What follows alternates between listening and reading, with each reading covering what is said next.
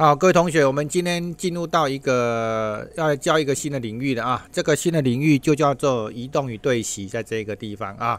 那老样子，我们再讲一遍啊。我教你的概念思考跟操作方式，不是只有 Jump 这个软体有，其他的软体大同小异啊。就像我们学写程式，当年我们要学的是 Basic 回旋啊，一到十啊，怎么计算啊，那个是基本功啊。再复杂的软体也是这样写的啦啊，一样。你可以在很多现在，因为这个软体太多了啊。那 Jump 是 Open Source，而且是非常专业的哈。我觉得它每一个选项、每一个功能的操作的那个步骤跟操作的逻辑概念，基本上我可以说堪为 standard 标准啊。你在别的软体学别的软体去学的时候，两三下就会了，因为那个观念转一下而已，操作方式转一下而已啊。所以大概是这样子。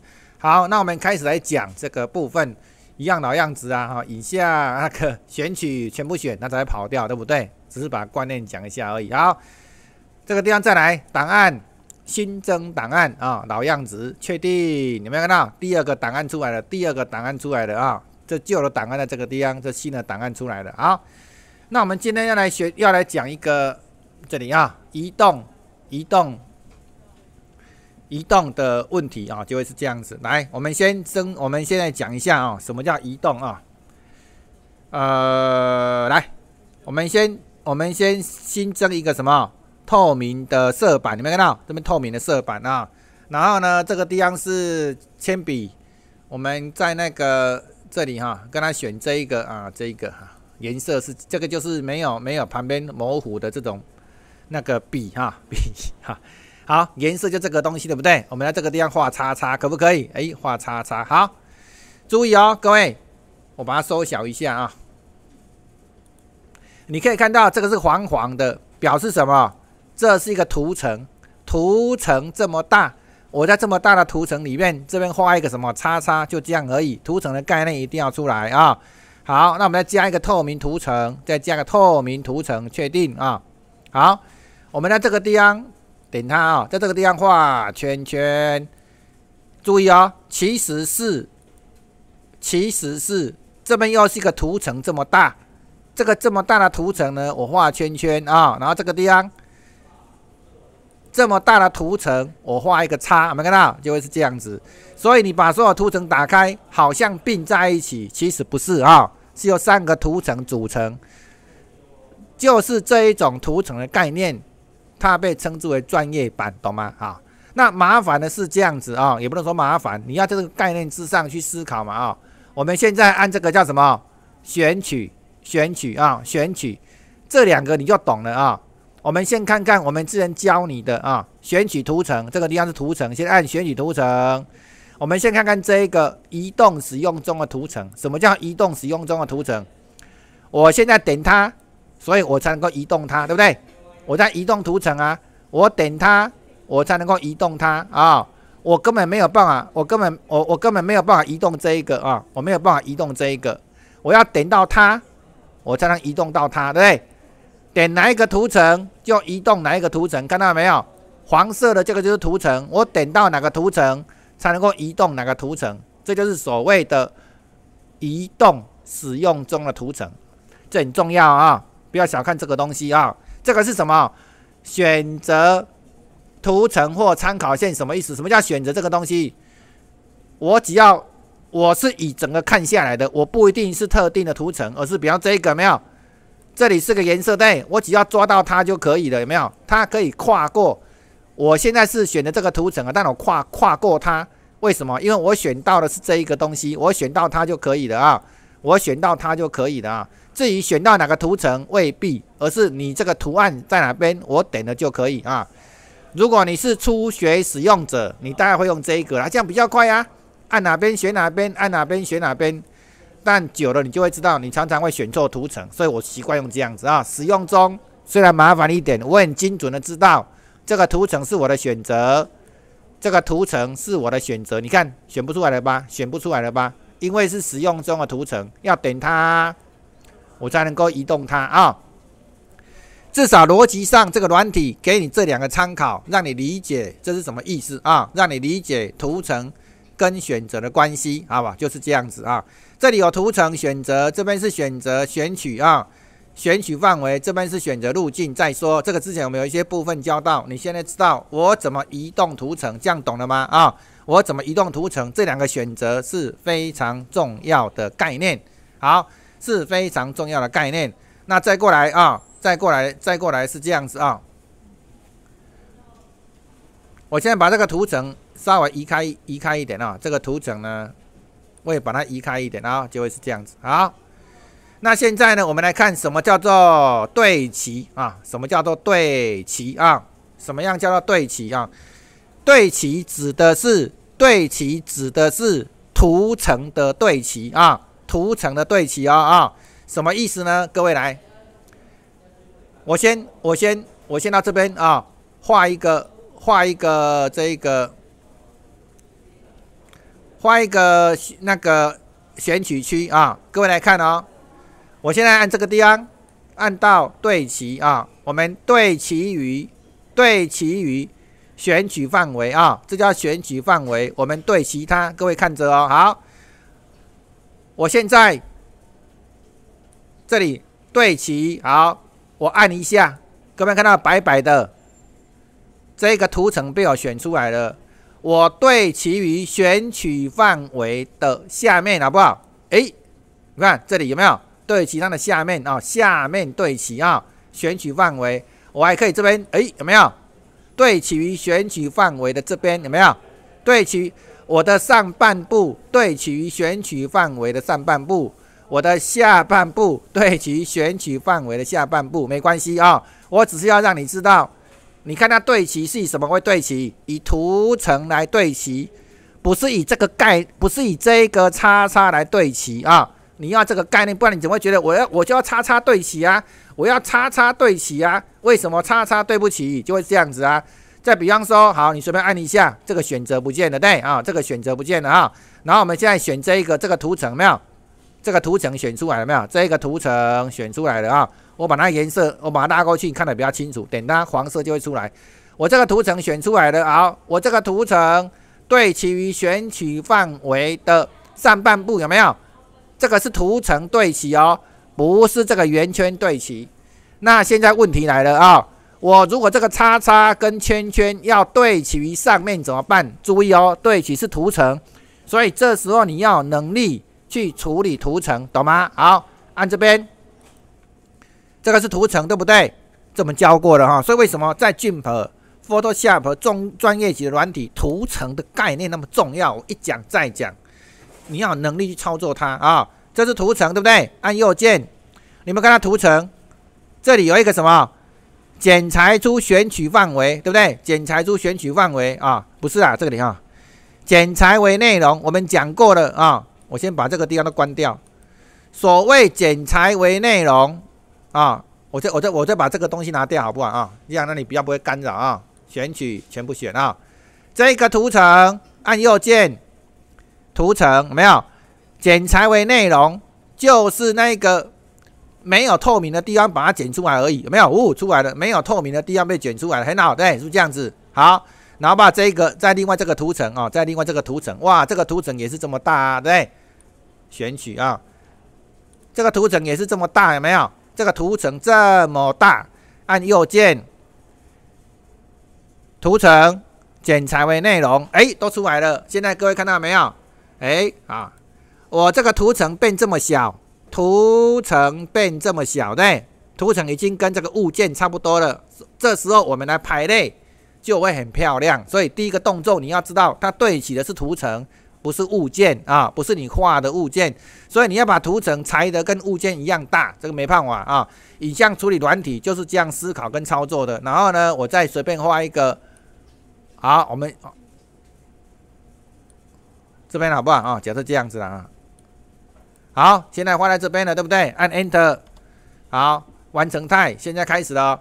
这边对齐，好，选起来，有没有对齐啊？啊。对齐选取范围，选起来有没有出来了啊？再按，你看哦，这边我跟你讲，按你按这边下面有讲 Shift 键，Shift 键啊，Shift 键再把它选起来。我这两个选起来了，然后呢，我这两个选起来了，然后呢，从选取范围对齐于上半部，看到没有？哎，我的这个框框，我的我的图层跟我的图层有没有对齐上半部？有，通通对齐它的，对不对？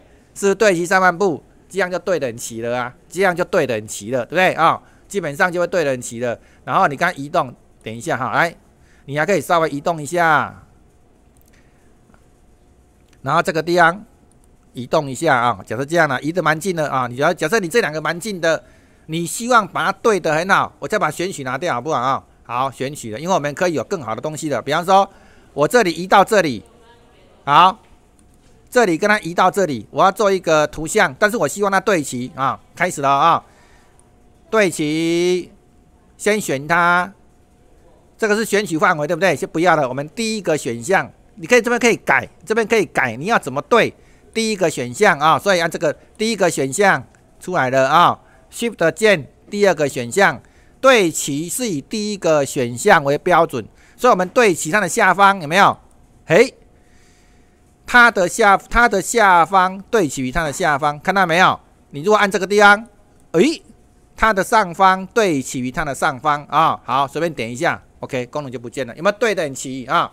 对等齐是非常重要的。我们叫做图文整合的东西啊。我们讲过了，对齐才能创造区块，区块是我们阅读的动线。你在看这个东西的时候，你不会把它当做两个物件，你会把它当做一个什么整体来看。我们在阅读的时候，它会是一个整体。这边瞄完，再瞄字，再瞄图，一个整体。一个整体什么意思呢？这两个意义会相加，在哲学的概念叫综合啊。我把两个意义综合完之后，再去看别的东西。所以对齐很重要。对齐我们讲过了啊，上一堂课讲啊，之前 s 规法讲过怎么样对齐。第一个相同性，颜色有没有相同？有。第二个要对齐，我对齐上半部啊。所以你在阅读的时候，这会会变成一个单一的区块来被阅读。这是我强调我们在做图文整合里面啊，怎么样创造区块性阅读非常重要的方法啊。那我们这个东西就是用对齐这个概念。那我们讲过了啊，对齐你一定要知道，对齐是指对齐图层，而不是对齐物件。所以你要把物件转换为图层，对不对？就会是这样子啊。那没关系啊，不然呢？我们再来做一个很有趣的概念啊，就会是这样子啊。好，一样抓三个图层进来，好不好？第一个图层保持，再过来。第二个图层保持，OK，再来第三个图层保持。好，就是这样子啊。这一个跟它抓到下面来了啊。我们来练习的。这个多重要，就会是这样子啊！哈，假设我们现在要用刚才那样子的东的概念，对不对？好，我们首先呢画一个什么？画一个圆形，好不好？当你开始画的时候呢，按 Shift 键，它会什么变正方形啊？假设这样子的啊，正方形。好，按 Enter 选取态啊。如果你这个正方形的选取的大小要一直使用，因为等一下我们要使用同样大小的圆形，我们讲过的啊。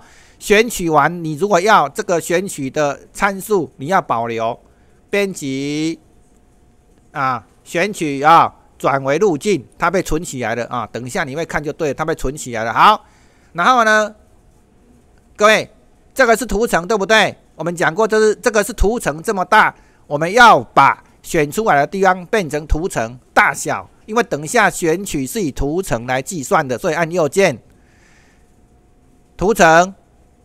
是吧？剪裁出选取范围，看到没有？这个是选取范围，对不对？剪裁出来，耶耶，我们剪裁出来。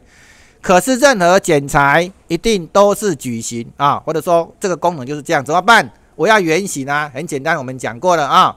这里哦，这里是选取，我们看一下选取这个红黄，这个是被选取的，对不对？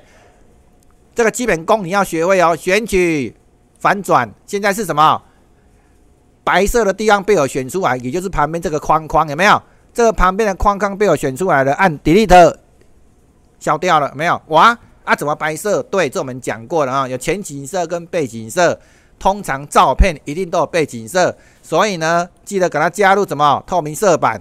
透明色板加进去的时候，就等于把背景色删掉了啊。再再删一次，就透明了，有没有？啊，就会这样子。好，这一张图搞定了啊，那再第二张图啊，第二张图啊，会是这样子。好，我们现在这个关掉，等一下我还会再裁的啊，来。好，那么先来选这一个，把这个关掉之后，选这一个怎么办？刚才那个有没有？刚才我们是有存起来的路径，因为我们要同样的大小嘛，哈，路径刚才那个存起来，对不对？按右键啊，然后呢，路径转换为选取范围，哎，选出来了。好，然后现在呢，移动啊，移动为图层，移动为选取范围，选取范围，移动有没有？哎，这一次比较准了啊，刚才不知道是 bug 还是怎样。好，这一次我们要选取这一个有没有？哦，要选取这一个啊，老样子啊，老样子，按右键，回到图层啊，按右键，按右键啊，图层，剪裁出选取范围，哎，剪裁出选取范围，但这是正方形啊，没关系，选取反转有没有？白色这个地方的白色这个地方啊，边边被反转了啊。因为这个地方被选出来的，delete，哇，又是白色，我又忘了啊。加入透明色板，再一次，哎，就删掉了，没有？啊，基本上就会是这样子。好，选取，全部选，就把它取消掉了。但是你可以看到有没有？这个图层出来了啊？哦，两个图层有没有？图层这么小啊？好，先把它弄掉，再用这一个老样子啊，一步一步的教你。刚才的我们有储存了，对不对？路径，按右键把它。叫出来，路径转换为选取范围，刚才那个大小是固定的啊。好，再按这里，再按什么？移动这个地方什么？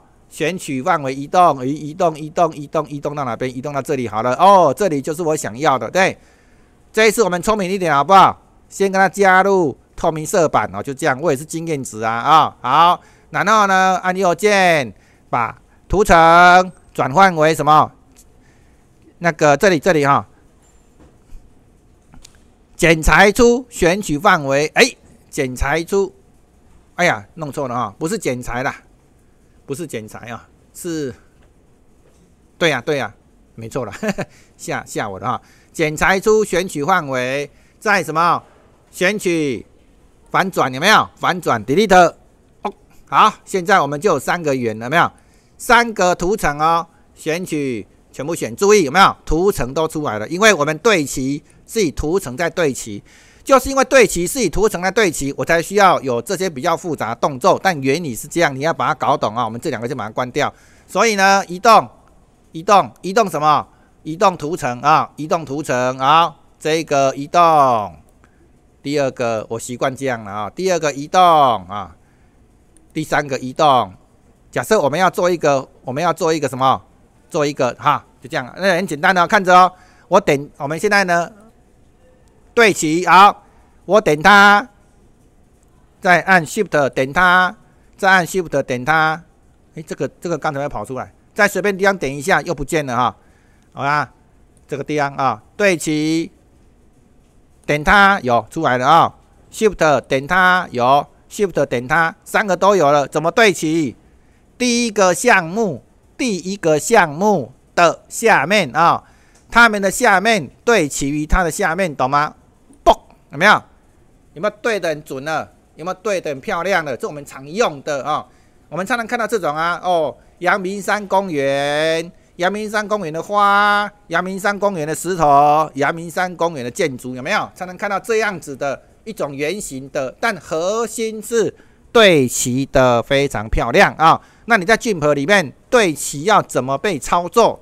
就像我刚才讲的，但首先的概念是，你对齐是指图层对齐啊，所以你要把每一张每一个影像的内容转换为以这样子大小的什么，以这样子大小的图层，它才能够进行对齐。所以逻辑概念你要懂，你对图层的操作要会，你在 Jump 里面的对齐才能够操作的出来啊，这是非常重要的概念。专业的软体、专业的图文图像软体，大概都是这种思考模式，所以我是要这样教你的啊！你要这样思考模式，你才有办法在对齐的方面做得很好。有对齐，才能创造区块；有区块，图文整合的阅读动线才能够被创造，这是非常重要的逻辑概念。好，那我们讲到这边好，谢谢各位。